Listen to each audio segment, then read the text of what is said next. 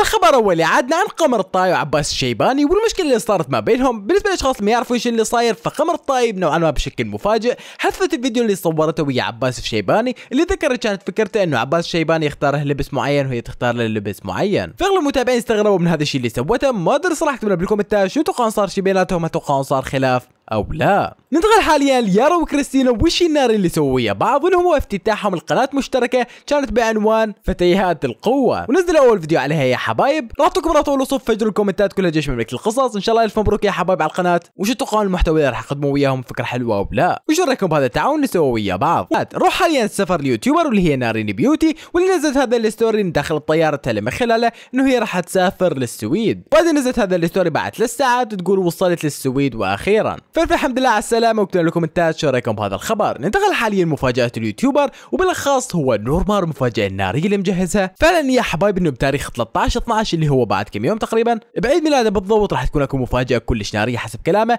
لا أتوقع يمكن تكون أغنية حط لكم شوفوه. أخيرا المنزل.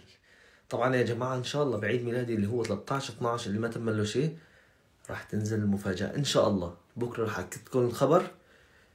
إيه أو لا. بس راح يكون شيء نار.